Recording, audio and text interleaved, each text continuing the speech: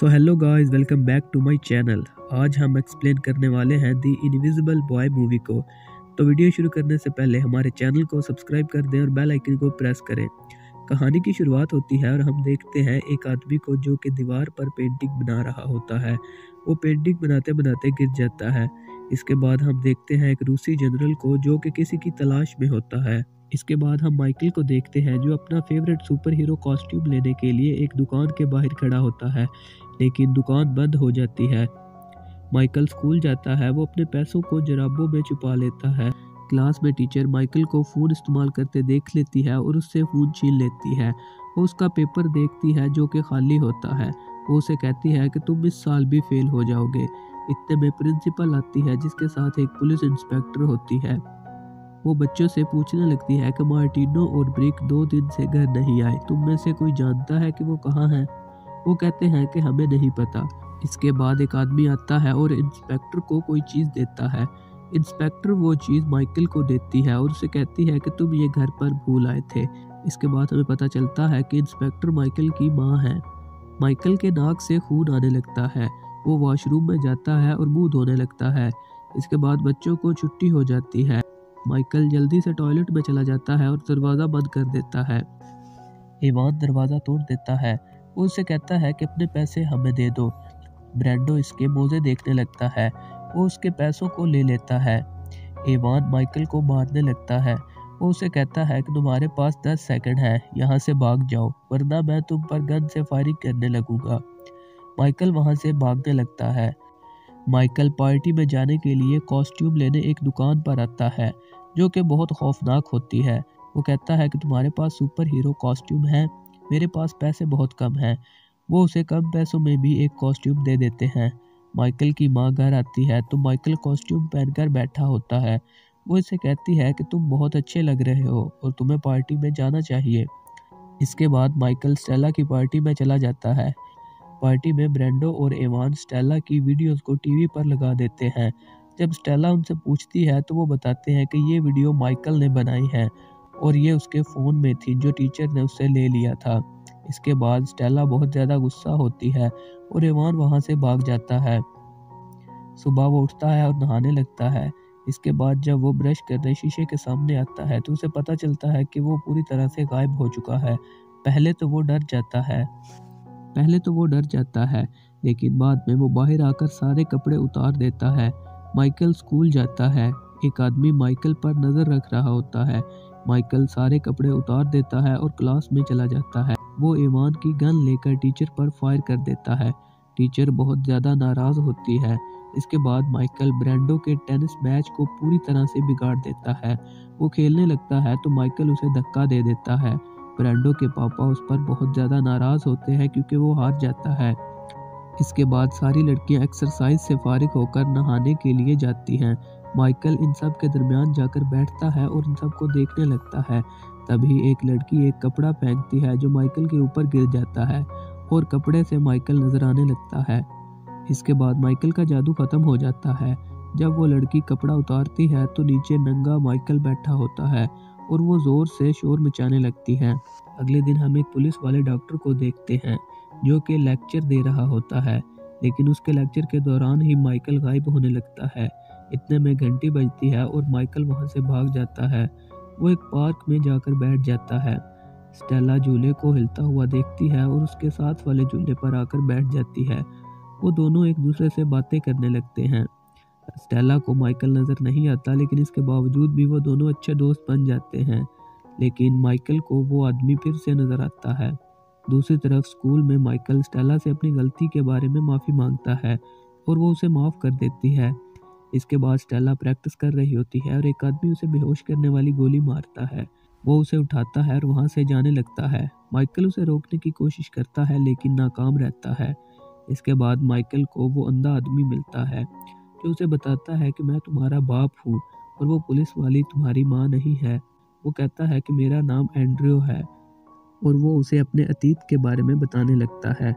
वो कहता है कि रशिया में मेरा जन्म हुआ। वो उसे बताता है कि परमाणु हमले में बहुत से लोग मारे गए, लेकिन जो ज़िंदा बचे उनको मिली सुपर पावर। रशिया की आर्मी ऐसे लोगों को इकट्ठा करना चाहती थी और इस मिशन का कमांडर एक संकी था। वो कहता है कि हमारे साथ जानवरों जैसा सलूक किया जाता था और हम पर एक्सपेरिमेंट किए जाते थे। और वो उसे बताता है कि वहाँ पर मैं तुम्हारी माँ से मिला। और वो पहली नज़र में ही मुझे पसंद आ गई। वो उसे बताता है कि तुम्हारी माँ की शक्ति थी कि वो गायब हो जाती थी और मेरी शक्ति थी कि मैं लोगों के दिमाग पढ़ सकता था और इनकी सोच मिटा सकता था। और हम दोनों के प्यार से तुम पैदा हुए। वो तुम पर भी एक्सपेरिमेंट करना चाहते थे, लेकिन हम तुम्हें वहाँ से लेकर भाग गए। वो उसे बताता है कि हमें बचाने के लिए तुम्हारी माँ ने उनका अकेले ही सामना करने का फैसला किया और वो मारी गई। वो उसे बताता है कि तुम्हारी माँ ने मुझे और तुम्हें एक नई ज़िंदगी दी। वो कहता है कि मैं जानता था कि आज नहीं तो कल वो मुझे ढूंढ लेंगे। इसीलिए मैंने तुम्हारे लिए एक नया घर ढूंढा, जहाँ पर तुम्हारी अच्छी परवरिश हो सके। और उस लेडी इंस्पेक्टर को भी एक बच्चा अडॉप्ट करना था, और मैंने उसका दिमाग पढ़ लिया था। मुझे पता था कि वो तुम्हारा अच्छे से ख्याल रखेगी। इसके बाद वो उसे इसकी माँ के सूट जैसा एक सूट देता है। और उसे बताता है कि जब तुम गायब हो गए तो ये सूट भी तुम्हारे जिसम के साथ ही गायब हो जाएगा।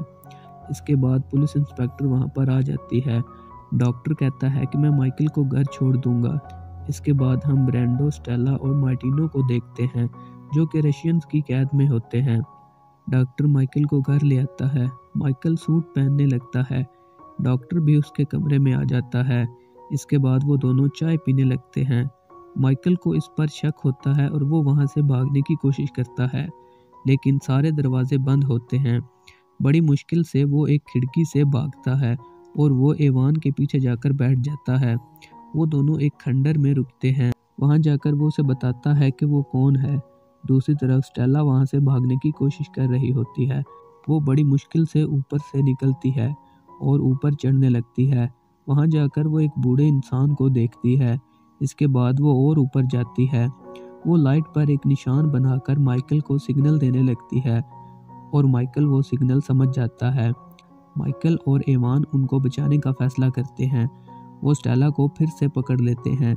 एवान उनका ध्यान भटकाता है और माइकल जल्दी से अंदर घुस जाता है। लेकिन डॉक्टर को उस पर शक हो जाता है कि माइकल अंदर है। वो कहता है कि मुझे जल्दी से उसके पास ले चलो। वो स्टेला को एक कमरे से निकालकर दूसरे कमरे में बंद कर देते हैं। माइकल एक आदमी के सर पर सिलेंडर मारता है और दूसरे से गन ले लेता है।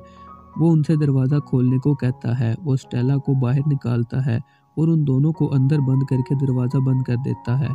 इसके बाद वो अपने दोस्तों को कहता है कि वो यहाँ से निकल जाएँ, लेकिन स्टेला कहती है कि उसने एक बूढ़े को देखा है।